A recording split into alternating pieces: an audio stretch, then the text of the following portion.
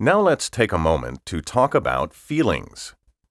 Loose lipped speakers and permissive writers may call me a fusspot, a nitpicker, or even an acerbic pedant, but I am nothing less than intransigent when it comes to how I feel. In other words, I make a clear distinction between feeling bad and feeling badly.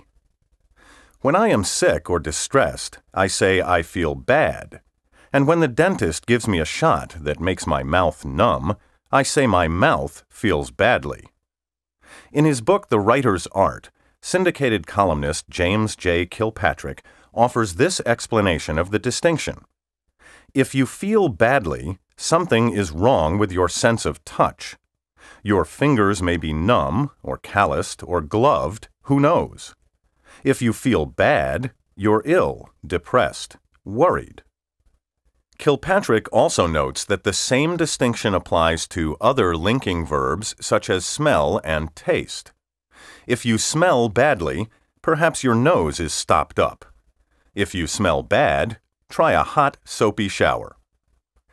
Mr. Kilpatrick and I are far from alone in our disdain for those who say they feel badly when they mean they feel bad.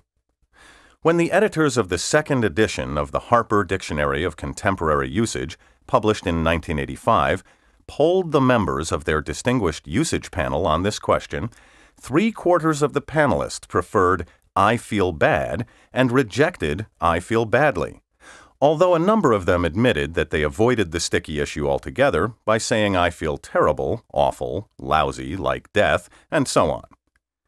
Many panelists voiced extremely bad feelings about I feel badly, calling it everything from a bit pedantic to a daintyism to downright god-awful. The late novelist and professor Isaac Asimov had this to say Feeling badly is the mark of an inept, dirty old man. The compilers also quote this bit of drollery from the eminent literary critic and editor Clifton Fadiman.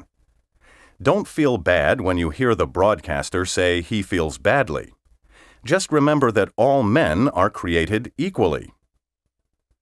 The Handbook of Spell, otherwise known as the Society for the Preservation of English Language and Literature, of which I am a vice president, contains this pithy prescriptive advice on the use of bad and badly.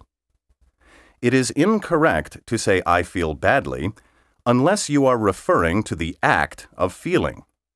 If you want to describe your physical condition, feel bad is preferred. Would you like a mnemonic device to help you distinguish between bad and badly? In his useful guide, Grammar for Smart People, Barry Tarshis offers this memory key. We feel bad when we perform badly. Now that you know that you will feel bad when you perform badly, I don't feel bad about saying that learning the next 10 keywords in Level 8 will make you feel good. And here they are.